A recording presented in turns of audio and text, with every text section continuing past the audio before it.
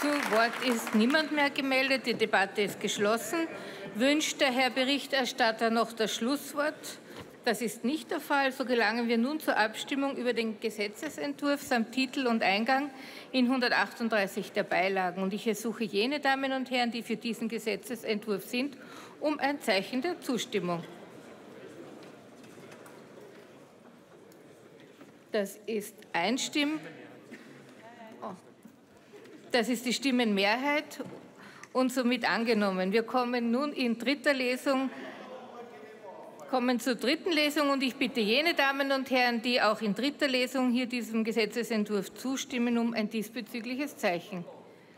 Das ist auch die Mehrheit, die Stimmenmehrheit und somit ist der Gesetzesentwurf auch in dritter Lesung angenommen.